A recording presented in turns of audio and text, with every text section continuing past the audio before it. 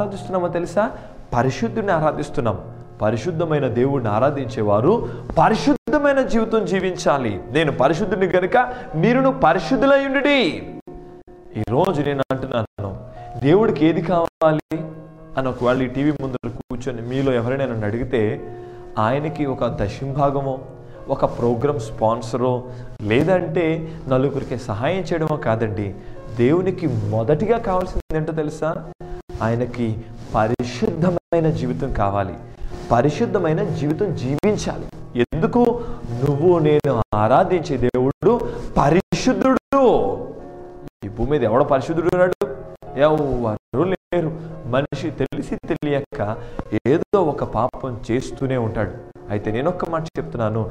మన నీతిని బట్టి మనం పరిశుద్ధులం కాలేం కానీ క్రీస్తు రక్తంలో మనం కడగబడి ఆయనను వెంబడిస్తే మనము కూడా పరిశుద్ధుల వలె తీర్చబడతాము అందులో ఏ సందేహం కూడా లేదు. ఈరోజు నేను అడుగుతున్నాను ఆ పేరు రాసిన పత్రికలో రాస్తున్నాడు ఏమనంటే నేను పరిశుద్ధునేనని గనక మీరును పరిశుద్ధులై అని ఏమంటున్నాడంట? విధేయులైన పిల్లలై విధేయులు ఒబీడియన్స్ విధేయత కావాలి. ఈరోజు ఎంతమందికి విధేయతగా విధేయులై జీవిస్తా ఉన్నారు. ఎంతమంది ఈరోజు దేవుడి దగ్గర తగ్గించుకొని లేదంటే విధేయత కలిగిన స్వభావంతో ప్రభుని ఆరాధిస్తున్నారు. ఈరోజు లోకంలో అవిధేయత పెరిగిపోయింది. మానవుడు దేవునికి లోబడ్డంలే. దేవుడు పరిశుద్ధుడు అనే విషయం గుర్తించడంలే. తన ఇష్టానుసారంగా మానవుడు అవిధేయతను చూపిస్తా ఉన్నాడు. గడిచిన కొన్ని వారాల క్రితం నేను ఒక విషయాన్ని నేను మీతో చెప్పాను. ఆనాడు ఇస్రాయల్ ప్రజలు కూడా అవిధేయతను చూపించి కానాన్ని స్వతంత్రించుకోలేకపోయారు ఈరోజు ప్రభు పేట మనం చేస్తా ఉన్నా? నువ్వు నిజంగా దేవుడిని ఆరాధిస్తే నువ్వు దేవుని ఎడల విధేయత చూపించాలి. ఒబీడియన్స్ ఉండాలి. నీకు ఒబీడియన్స్ ఉందా? సంఘానికి వెళ్తున్నావు తగ్గింపు ఉందా? నిన్ను నువ్వు తగ్గించుకుంటున్నావా? విధేయత కలిగి ప్రభు ఎడల నువ్వు ప్రార్థన చేస్తున్నావా? తగ్గింపు స్వభావం కావాలండి. ఈరోజు చాలా మందికి ఆ యొక్క విధేయత లేదంటే ఆ యొక్క తగ్గింపు స్వభావం లేదు. ప్రభు పెట్ట మనవి చేస్తా ఉన్నా. ఆఫ్ కోర్స్ నువ్వు మంచి గొప్పవాడు కావచ్చు మంచి రిచ్ పర్సన్ కావచ్చు లేదంటే నువ్వు నువ్వు చాలా సంవత్సరాల నుంచి ప్రభుని ఆరాధించి ఉండొచ్చు కానీ నీతో ఒక్క మాట చెప్తున్నా. నువ్వు నిజంగా క్రీస్తుని ఆరాధించే వ్యక్తిగా ఉంటే మొదటిగా నీలో విధేయత కావాలి. తగ్గించుకునే స్వభావం కావాలి. లోబడే స్వభావం కావాలి. బైబిల్ సెలవిస్తూ ఉంది. తనకు తాను తగ్గించుకునేవాడు హెచ్చించబడతాడు. మీకు తెలుసా అండి?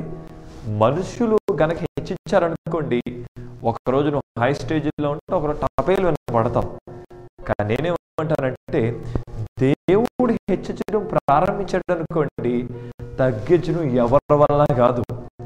ఆయన తగ్గించడం ప్రారంభించాడు అనుకోండి హెచ్చించడం ఎవరి వల్ల కాదు. ఈరోజు ప్రభు పేట మనం చేస్తున్న విధేయత కలిగిన జీవితం నువ్వు జీవిస్తున్నావా? అక్కడ మాట్లాడుతున్నాడు విధేయత కలిగిన వారై మీ పూర్వపు అజ్ఞాన దశలో మీకుండిన ఆశలను అనుసరింపక. ఎవరు అజ్ఞాని? ఎవరు జ్ఞాని? బహుశ్రద్ధగా వినండి. నేనేమంటానంటే ఈ అజ్ఞాని లేదంటే జ్ఞాని కొరకు మాట్లాడితే నేను రెండు విషయాలు మీకు పరిచయం చేస్తాను. మానవుడి కంట రెండు రకాలైన మైండ్స్ ఉంటాయంట. ఒకటి బ్రాడ్ మైండ్ రెండోది high thinking mind. Broad mind అనేది ఆ ఆలోచన విధానాలు ఎలా ఉంటాయంటే ఎప్పుడు భూ సంబంధమైన ఆలోచనలు. ఏమి తిందుమా ఏమి తాగుదుమా ఏమి కట్టుకుందుమా ధనవంతుడు చూసారా నా ప్రాణమా తినుము తాగుము సుఖించుము అని ఎవరైతే ఈ భూ సంబంధమైన వాటి కొరకు ఆలోచిస్తారో వీళ్ళది బ్రాడ్ మైండ్. కానీ హై థింకింగ్ మైండ్ ఉంటుంది. హై థింకింగ్ మైండ్ ఎలా ఉంటుందో తెలుసా? ఈ సూర్యుని కింద జరుగుతున్న సమస్తము వ్యర్థమే. ఈ జీవితం కాదు. నాకు మరొక శ్రేష్టమైన జీవితం ఉంది అని గుర్తించేవాడు హై థింకింగ్ మైండ్ బైబిల్లో ఒక హై థింకింగ్ మైండ్ ఉన్నాడు ఎవడో తెలుసా? సొలోమోను. భక్తుడైన సొలోమోన్ హై థింకింగ్ మైండ్ అండి.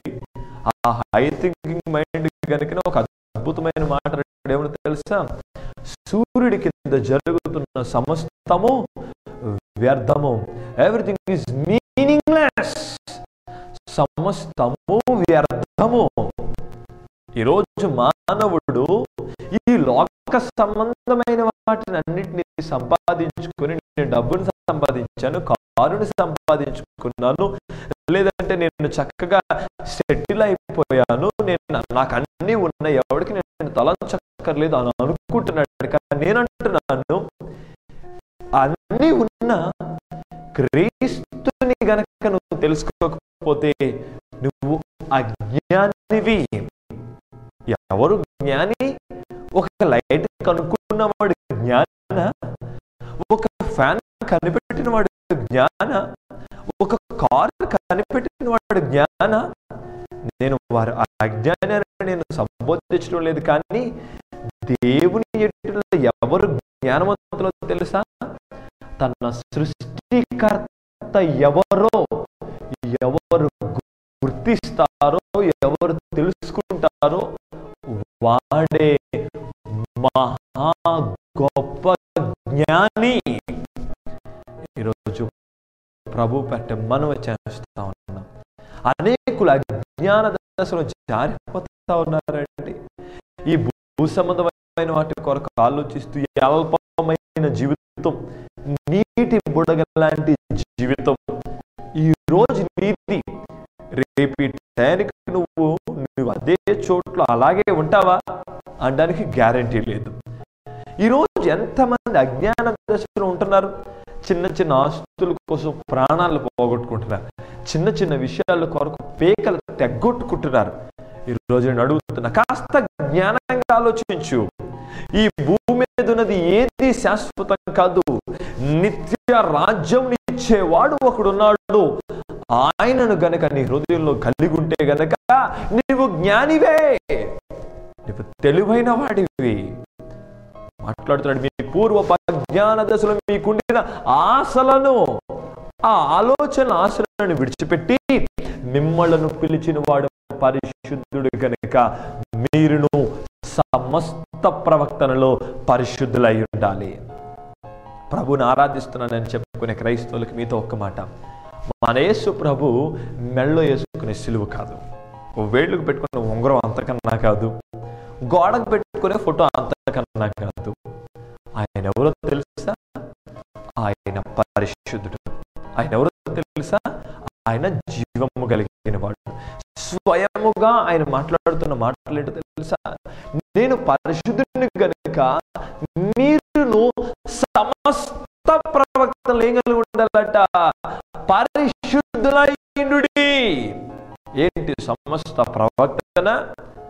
సమస్త ప్రవక్తన మూడు విషయాల మీద ఆధారపడి ఉంది నువ్వు చూసే చూపు నువ్వు మాట్లాడే మాట నువ్వు వినే చెవులు. బహుశ్రద్ధగా వినండి. ఈ ప్రవక్తలు నువ్వు ఏమై ఉండాలంట?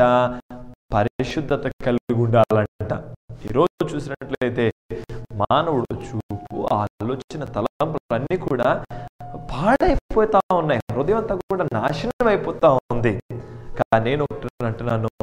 నిజంగా మీరు ప్రభుని ఆరాధించేవాడు అయితే గనక నీవు సమస్త ప్రవక్తలు ఏం కలిగి ఉండాలంట? పరిశుద్ధత కలిగి ఉండాలి. ఎప్పుడైనా అడిగావా అసలు దేవుణ్ణి? ప్రభు నేను సమస్త ప్రవక్తనలో పరిశుద్ధత కలిగి ఉండాలయ్యా నా మాట నీకు ఇష్టంగా ఉండాలి. నా ఆలోచన నీకు ఇష్టంగా ఉండాలి. నా నడవడిక నీకు ఇష్టంగా ఉండాలి. ఇది నేను చైనా వద్దా? నీకు ఇష్టమా కాదా? నన్ను సమస్త ప్రవర్తనలో నన్ను పరిశుద్ధంగా నిలబెట్టు ప్రవ్వా. అని ఎప్పుడైనా నువ్వు దేవుడిని అడిగావా? ఈరోజు నేను అడుగు. ఎందుకనగా? మన దేవుడు చెప్తున్నాడు నేను పరిశుద్ధుని గనక. నువ్వు సమస్త ప్రవర్తన in all all all manner సమస్త ప్రవర్తనలో కూడా నువ్వేం కలిగి ఉండాలంట? పరిశుద్ధత కలిగి ఉండాలి. పరిశుద్ధత కలిగి ఉన్నావా? ఈనాడు మానవుడు పరిశుద్ధంగా జీవిస్తా ఉన్నాడా? ఎంతమంది యవనస్తులు పరిశుద్ధంగా జీవిస్తున్నారు? పరిశుద్ధు పరిశుద్ధ పరిశుద్ధ అని పాటలు పాడితే కాదండి. పరిశుద్ధమైన జీవితం జీవించాలండి. ఒక వ్యక్తి ఎప్పుడు ఆనందంగా ఉంటాడు? ఎప్పుడు సంతోషంగా ఉంటాడు? నేనేమంటాను తెలుసా? ఒక వ్యక్తి ఎప్పుడు సంతోషంగా ఉంటాడు? తన హృదయంలో పాపము లేకుండా పరిశుద్ధంగా జీవించే ప్రయత్నం ఉంటుంది చూసారా ఆ ప్రయత్నం చేసినప్పుడు ఆ వ్యక్తి మహా మహా సంతోషంగా ఉంటాడు. కానీ లోన చీకటి పెట్టుకుంటున్నారు అనుకోండి నేనేమంటానంటే అందరిలో ఉన్న ఒంటరి జీవితమే.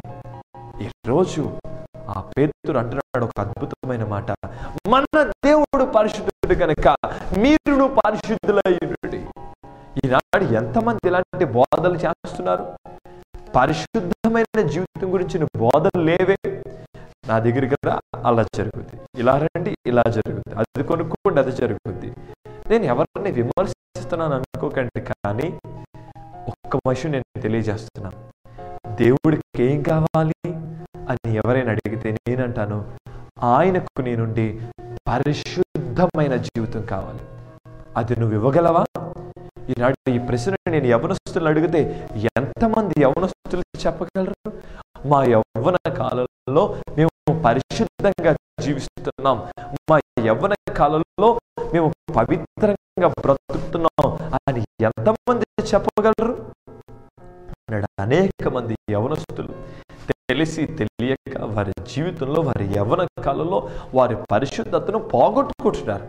వివాహాలు కాకుండానే శరీరాల్ని మలినం చేసుకుని శరీరాల్ని పాడు చేసుకుంటున్నారు. కానీ నేనంటున్నాను మన దేవుడు రోషము కలిగిన వాడు. మన దేవుడు జీవము కలిగిన వాడు. ఆయన రక్తములో పాపము లేదు. ఆయన సజీవుడు. ఆయన కోరుతున్నది ఏంటో తెలుసా? నీవు పరిశుద్ధంగా బ్రతకాలి. ఎలా బ్రతకాలి? సమస్త ప్రవక్తన మళ్ళా చెప్తున్నాను. సమస్త ప్రవక్తనలో మీరు పరిశుద్ధులై ఉండాలి. అంటూ రాస్తున్నాడు. ఆయన పక్షపాతి కాదు. దేవుడికి పార్షువాలిటీ లేదండి.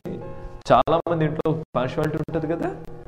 తండ్రికేమో కూతురు అంటే ఇష్టం తల్లికేమో కొడుకు అంటే ఇష్టం. అవునా? తల్లిలందరూ కొడుకులు ఫేవరెట్ అంట. తండ్రులందరూ కూతురులు ఫేవరెట్ అంట. ఇది ఒక ఇది ఒక రకమైన పార్షువాలిటీ ఈయన ఏం తీసుకొచ్చిన ఈయన ఇది ఇప్పుడే కాదండి ఆనాడే ఉంది. ఎక్కడో తెలుసా మీకు? ఇస్సాక్ ఎంతమంది కొడుకులు పుట్టారు? ఇద్దరు కొడుకులు పుట్టారు. ఏసాము యాకోబు. మీకు తెలుసా? తల్లేమో యాకోబు ఫేవరెట్ తండ్రి ఏమో ఏసావు ఫేవరెట్ ఆ రోజే ఉంది ఇదంతా. కానీ ఒక విషయం. మన దేవుడు పక్షపాతి కాదు. పక్షపాతి కాదు. పర్ఫెక్ట్గా జడ్జిమెంట్ ఇస్తాడు. హైట్ ఉన్నాడని ఒకలా తీర్మానివ్వడం. కాస్త ఎక్కువ కానికిస్తున్నాడు కదని పక్కన పెట్టేవాడు కాదు. ఈ వాక్యం బోధించిన నేను ఈ వాక్యం వింటున్న మీరు మనందరినీ కూడా ఆయన సమానంగా తీర్పును తీర్చేవాడు. పేతురు హెచ్చరిస్తున్నాడు అన్నాటి సంఘాన్ని. ఆయన పక్షపాతము లేకుండా ప్రతి వాని క్రియలను బట్టి ఆయన ఏం చేశాడంట? తీర్పు తీరుస్తాడు. ప్రసంగంలో రాస్తా ఉంటాడు. నీ క్రియలను బట్టి తీర్పు తీర్చడానికి ఆయన దగ్గర అంటే ఒక జీతం ఉందంట. ఆయన దగ్గర చిత్తం కాచుకుని నీ క్రియలు ప్రకటన గ్రంథంలో రాస్తాడు. నీ క్రియలు మంచివైనను చెడ్డవైనను. నీ ప్రతి క్రియను కూడా ఆయన ఒకనొక రోజు తీర్పులోకి తీసుకొని వస్తాడు. ఈరోజు ఆయన పక్షపాతి కథను చూస్తున్నావా? ఎందుకు ఈరోజు నీ కుటుంబంలో శాపం ఉంది? ఎందుకు ఈరోజు నీ కుటుంబంలో నష్టం ఉంది? ఎందుకు ఈరోజు నువ్వు అనుకుంటున్నావు జరగట్లేదు? ఎప్పుడైనా కూర్చొని ఆలోచించావా? మా ఇంట్లో ఒక ఆయన అంటున్నాడు మా ఇంట్లో ఆశీర్వాదం రావట్లేదండి. మరి ఏం చేసేవయ్యా? ఎవరో వచ్చి చెప్పారంట బాత్రూమ్ ప్లేస్ మార్చమని. వెంటనే నేను బాత్రూమ్ ప్లేస్ మార్చాడు. బాత్రూమ్ ప్లేస్ మారితే మంచి జరుగుద్ది. ఈరోజు నువ్వు అనుకుంటున్నావా? ఎందుకు నా జీవితం ఆశీర్వాదం రావట్లేదని? అయ్యి ఈ మారుస్తే కాదయ్యా. ఇంటిలో ఉన్న తలుపులు మారుస్తే కాదు రావాల్సింది. మొదటిగా నీ హృదయంలో నీవు పరిశుద్ధమైన జీవితం జీవించాలి. పవిత్రమైన జీవితం జీవించాలి. నేనేమంటానంటే ఈ లోకం అనేది ఒక సముద్రం లాంటిది. మీకు ఒక విషయం తెలుసా అండి? ఎప్పుడైనా సముద్రంలో ఉన్న చేపను పట్టారా? సముద్రంలో ఉన్న చేపను చూడండి. సముద్రం ఉప్పు నీరు. సముద్రంలో ఉన్న చేప ఉప్పు చేప. కానీ ఆ చేపను పట్టి కోసి చూడండి. దాని కడుపులో ఉప్పు ఉండదు. మీరు వండేటప్పుడు దాన్ని ఖచ్చితంగా ఉప్పు వేయాలి. నేనేమంటానంటే అదే రీతిలో ఈ లోకంలో మనం ఉన్నప్పుడు ఈ లోకానికి మనం వేరై ఉండాలి. లోకం నుంచి ప్రత్యేకంగా జీవించాలి. లోకమంతా చీకటిలో ఉన్నా మనం వెలుగును వెంబడించాలి. కనుక ఈరోజు ప్రభు పెట్టి మీకు మనవి చేస్తున్నాను. పరిశుద్ధంగా జీవించు. పవిత్రంగా జీవించు. మన దేవుడు పరిశుద్ధుడు. అనే విషయాన్ని మీరు జ్ఞాపకం పెట్టుకోండి. మరొకసారి చెప్తున్నా యేసు ప్రభు కులం మతం కానే కాదు. ఆయన ఒక వర్గానికి దేవుడు కాదు. ఆయన పరిశుద్ధుడు. ఆయన మాత్రమే పరిశుద్ధుడు. ఆయన పవిత్రుడు అని మీకు మనవి చేస్తూ ఈరోజు ప్రభుని అడుగు ప్రభా నేను పరిశుద్ధంగా జీవించాను. ఆ పేతురస్ మొదటి పత్రిక రెండో అధ్యాయం కిందన చూసినట్లయితే గనక ప్రభు దయాళుడని మీరు రుచి చూచిన ఎడల సమస్తమైన దుష్టత్వమును కపటమును వేషధారణ అసూయ దూషణ మాటలను మాని క్రొత్తగా జన్మించిన శిశువు పోలిన వారే నిర్మలమైన వాక్యం అనే పాలను రక్షణ విషయంలో ఎదుగు నిమిత్తము ఆ పాలను అపేక్షించుడి. ఆమెన్. ఏమి రాస్తా ఉన్నాడంట? సమస్తమైన దుష్టత్వమును సమస్తమైన కపటమును వేషధారణ అసూయ ఇవి నువ్వు మారాలి. ఏంటి సమస్తమైన ప్రవర్తన? ఈరోజు మానవుడు చూసినట్లయితే దుష్టత్వంతో నిండిపోతా ఉన్నాడు. ఏంటి దుష్టత్వం? కీర్తనలో మొదటి అధ్యాయంలో రాస్తాడు. దుష్టుల ఆలోచన చొప్పున నడవక పాపుల మార్గమున నిలవక మానవుడు ఈరోజు దుష్టత్వంతో నిండిపోతున్నాడు. రకరకాలైన దుష్ట ఆలోచనలు దుష్ట క్రియలు మాట్లాడుతున్నాడు. పేదలు ఏమంటున్నాడంటే దుష్టత్వమును కపటమును. ఇది కొంతమందికి ఇంకా ఇంకా అది బై బై భర్త వచ్చేస్తుంది ఆ స్వభావం. కపటం. పైకొకల లోపలికొకల. Praise lord sister praise lord brother first గారు ప్రైస్ లోడ్ అండి.